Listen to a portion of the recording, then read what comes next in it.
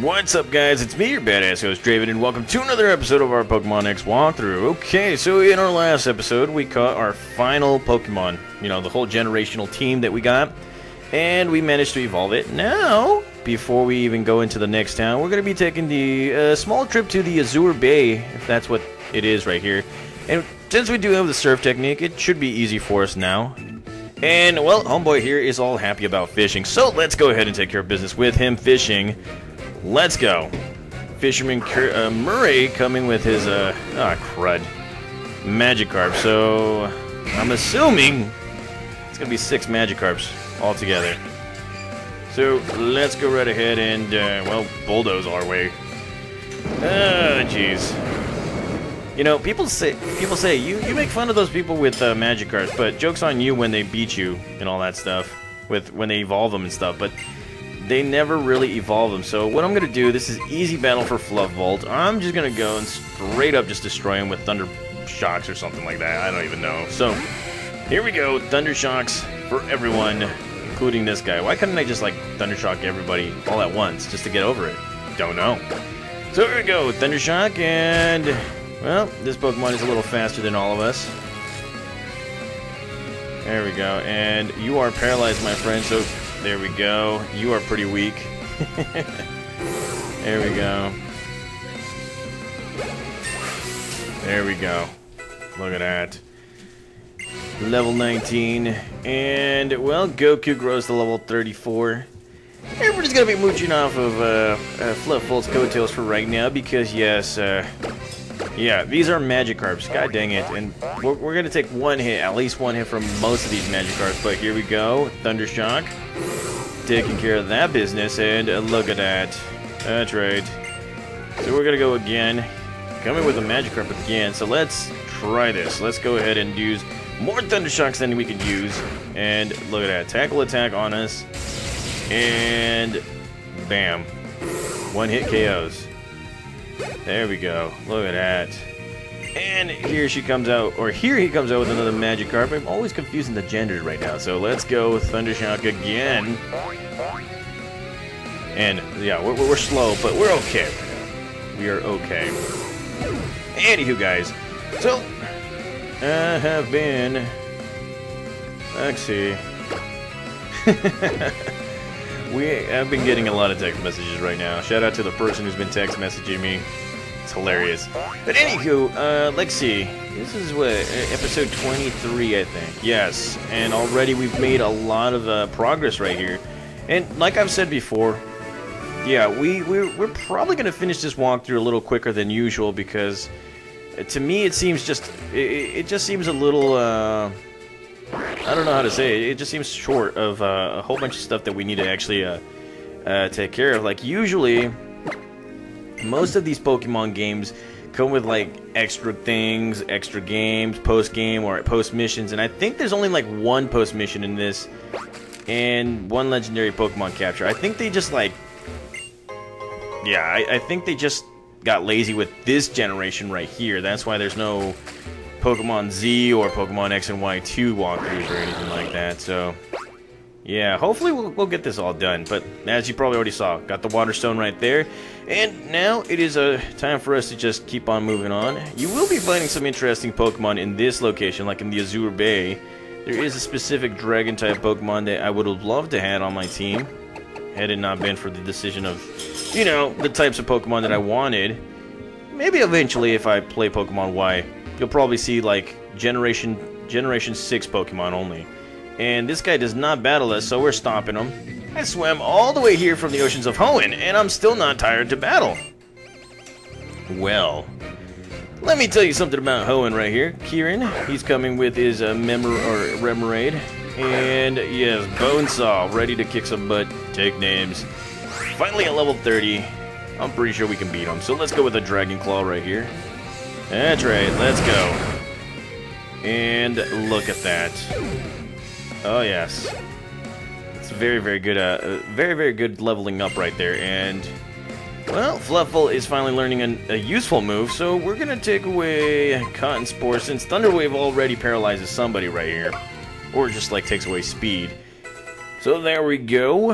And here he comes out with a Skrelp. And that was the Pokemon I wanted to capture. Skrelp, a very interesting Pokemon. Uh, it does evolve into a poison slash dragon type Pokemon. It is very, very slow though. Uh, actually, in Generation 6, some of their, you know, some of their dragon type Pokemon interest me a lot. And what I'm going to do right now is I'm going to go straight to Fluff Volt so I can uh, try and uh, do something with this guy. So let's go, Fluff Volt. Let's go, Wilmer. Let's get it. Fluff Volt, Thundershock. And Crab Baskets. There is uh, that move right there. But since we're in the water, hopefully it shocks him off all the way. No, it doesn't. So let's go again with another Thundershock and this guy coming with his water pulse attack and nearly takes me out. There we go. There we go. Okay, so we're going to be switching out our Pokemon right now. Let's go with Gaia 3, because it does have a move to defeat this guy quickly. Now, what I've also been talking about, um, I've been talking about this on the, like the first five episodes back to uh, Kalos. Um, and I did post this up on my community page. I didn't, you know, and it's still up for you guys to actually vote on. Um, so while I was completing my Pokemon Black walkthrough, I was actually playing Pokemon Sun and Moon off screen, and you know, I've been getting further acquainted with it, and I, I feel like I got the gist of it and everything. I felt comfortable because you know for sure, for sure, we're gonna see the we were gonna see the walkthrough uh, very, very soon. But unfortunately, I found a little bit of a, a little bit of a what was it? A, an impasse towards that walkthrough, and that is that the Pokemon Palace is the only way to actually get online. As you can probably see onto the side of the screen right here, the internet is on in order to uh, to stream this whole uh, walkthrough right here.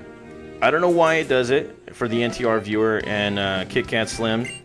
Don't know why it does it. If any of you guys can, you know, if you guys have knowledge of this, if you guys can tell me what what that means, then you know that would be that would be great.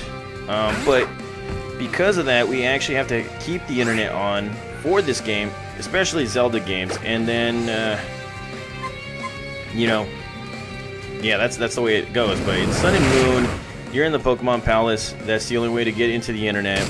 You get out of the Pokemon Palace. Unfortunately, you're off the internet and you can't see any of the gameplay. So with that being said, that puts me at a decision right here. And I've already put the four decisions for you guys to vote on. Um, what was it? If you guys uh, remember, or there are four decisions, and just apologize for the background uh, sounds. we got a little bit of a birthday, uh, a little bit of a birthday dinner uh, being cooked right here. Anywho, um, so next, first is first, let's go ahead and talk to this guy, and then I'll start ranting some more right here. So let's talk to this guy. And he's like, do you have a Mega Ring? Is that what this stone is reacting to? I see. Then you should take this with you. And bam, we get ourselves the Ampharosite. So we already got a Mega Stone for our Fluff Volt. If Korrina and the Mega Evolution Guru have recognized your skill as a Pokemon trainer, I'm sure you can master the power on your bond with your Pokemon in the Mega Stone. So there you go, guys. Got ourselves a Mega Stone. Now, yeah, more more uh, repels and all that stuff. And now, more ranting time. Battle this guy. So, like I was saying, guys, uh, NTR viewer, KitKat Slim, Pokemon games, Zelda games, you have to keep them online. Don't know why, comment down below. So, with that being said, I do have four different kinds of uh, solutions to our little problem for Generation 7. First one being, buy myself a new, or buy myself a, um, a capture card, a wired capture card. That way it eliminates the whole internet issue. Um, the only thing is that those come, those are very rare to actually find nowadays. Uh, unfortunately, the place to actually put installs the capture card with the wire, they're out of business. You can't find it. And if you find a captured a capture card with the with the wire on it, people are going to be selling them for more than five hundred dollars. So that right there is just, yeah, that right there is a, a big. Uh, yeah, that's that, that's just a big uh, what was it called? Uh, investment right there. Now the second one would be I do have a capture card that is wired. The only problem is it's in Japanese. For those who do remember, back when I was Draven Xz711, yeah, we did Pokemon X and ORAS. uh, with a with a Japanese version of the whole game, and you guys didn't like it. So that would be the next situation. The only thing is that I do have the guidebook for Pokemon Sun and Moon, so it won't I won't be lost completely. The only problem is the translation. So that's another option. The third option would have to be old school camcorder recording, kind of like what uh, Lueroi Super Skarmory did. They just, you know, they recorded uh, via camcorder. And the only problem with that one would have to be kind of like what you guys have been hearing, you know, background noises and all that crud. Which uh, I'm pretty sure many of you guys don't want to do because, yeah, that's that's something that you probably don't want and whatever. It will get done quickly though, but there is that chance that you know you're going to hear some background noises and all that crud. Now, the final option would have to be skip Alola altogether and go straight to Sun and Moon, which of course I do have. Uh, I do have uh, the method to actually record all these episodes. It's not that hard anymore. I've already tried it out, so trust me guys, it will happen. So those are your four options right there, guys. And like I said, go onto my community board and vote if you haven't voted. I know that I've been ranting about this for like five, six, seven episodes. But, you know, I kind of want to get everybody involved in this. That way you guys can actually, you know, have a say in what what happens into the next generation and all that stuff. Uh, my biggest pet peeve is that I restarted this whole channel on the basis of me uh, going from generation to generation uh, chronolo chronologically. But that kind of looks like it won't be it because, you know, Pokemon Palace. Whose idea was that? I really mean it. Whose idea was that? And, well, you know, we're just going to have to deal with the cards that we're dealt with right there, guys. So, again, choose what you want. I won't have any issue with it. At least you'll get a Pokemon game out of it. So, now, let's move on forward right here. There are quite a few places that you can actually find right here. I don't, well, not places, but there's one specific place that you can actually find that it's just, you know, it's abandoned right now. And what does this say? Advanced tips. You can cast a fishing line from a Pokemon's back when, uh, when using Surf to move across a water. That is true. Very, very true. And we're not going to do that because we're not interested in any Pokemon right here yet. And, well, we're going to be going and yes, I know that I'm wasting repels on nothing, but you know, we're actually going to get somewhere eventually. And here we found ourselves a dive ball. First of its kind, you can actually capture any Pokemon with, uh, what was it, uh, if you fish them and all that stuff. So what I'm going to do right now is, actually, you know what? We're going to battle right here. And, yeah. I don't know if it's... Hold on. Okay, Okay, how do we stand? Oh, there it is. Okay, so this is spot. Care for a skate battle? Yes, we are. I know, I know. It's a battle you want. So here it is, guys. A sky, our first sky battle against uh, Alada, and she will be having her Flachinder, Flakinder, whatever you like to call it. But here it is, Godzilla number three, ready to kick some butt. And well, let's go with the wing attacks. It's uh, Flakinder, Flachinder. Don't know how to say its name is a fire type Pokemon, and look at that. Not so strong right there.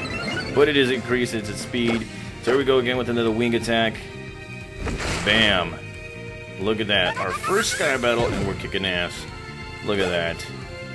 So here she comes out with a Pelipper. Now this is going to be a difficult one because Pelipper is a water type Pokemon. So we're going to Dragon Rage it all the way right here.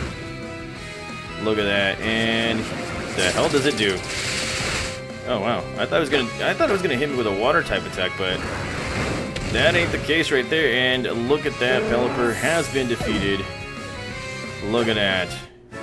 Usually these battles get me a little nervous because some of these uh, Sky Battle Pokemon trainers have electric types, water types on them, and I normally have just one flying type Pokemon, and it's just like, you know, never good, never good. So, moving on right here, I think there's another trainer here that we can battle, but the end result is to get get to Azure Bay right here.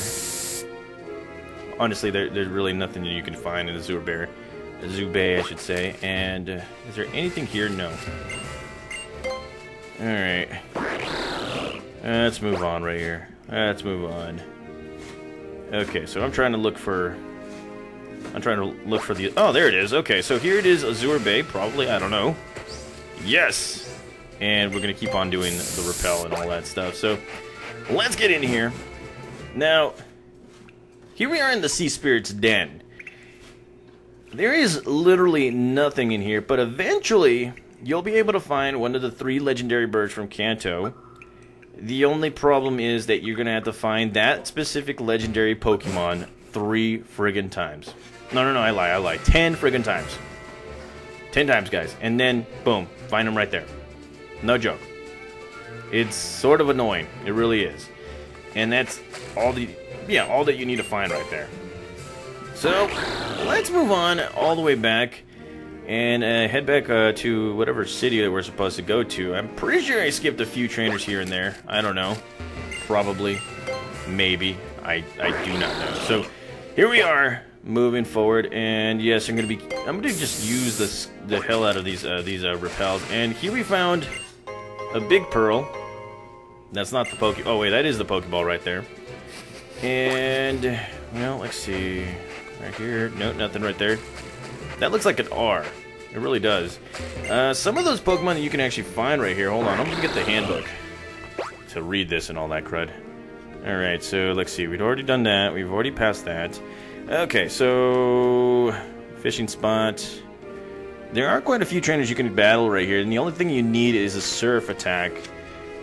Pokemon you can find right here are Alomomola and Wingulls, obviously. The tall grass you can find Chatot, Exeggcute, Inkay, and Slowpoke. A Horde encounter, Horde encounter would involve Exeggcute, Slowpoke, and Wingull. Now, cracked rocks you can actually find Binacle and Dwebble, and then in the water surface, Believe it or not, guys, you can actually find Lapras here, but they're very, very rare. Mantyke and Tentacool. And then fishing with an Old Rod, Luvdisc, Good Rod, Chinchou, and Remoraid. And then Super Rod, Alomomola, Lanturn, and Octillery. So these are pretty good, uh, pretty good spots to actually get to. Now, like I said before, you, you will find a legendary Pokemon in the Sea Spirit's Den, but that won't be until way, way later on right there. So, yeah, kind of, uh, kind of sucks. So what I'm trying to do is, uh, I'm to battle another sea, well, and I'm to battle another guy, another sky battle right here. And before we do that, let's go ahead and, uh, not that, I wasn't to do that, but let's go with Godzilla right here. And... There we go. Let's see. Care for Sky Battle? Yes. Let's do this. Okay, so here we go. Sky Trainer Indra wants the battle, and he's coming out with his Sigilyph, or I don't even know if it's a he or she. Sorry if I genderized you. Okay, so let's go right ahead and use... Well, let's go ahead and use anything we want, because this guy is a Psychic and Flying type Pokemon, and Sigilyph just looking like like a big old Sigilyph. Of course, I am uh, paralyzed as hell, so let's finish this guy off with the uh, Dragon Rage. And this guy coming with a Charge Beam. Super effective, and yes, it does raise its, attack, so we're kind of screwed here because, uh, yeah, if we get paralyzed, like, if we stay paralyzed again, we're not going to win this match.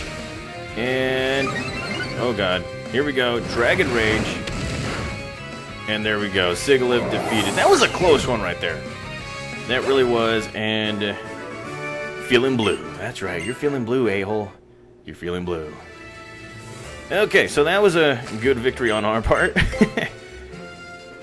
and, well, it is time to leave because uh, there really isn't a lot that we can do right here. I think we already battled everybody. So that was that was Azure Bay and everything, guys. I I really wasn't planning on you know showcasing it, but since we're today, you know, I'm kind of trying to get 10 episodes out.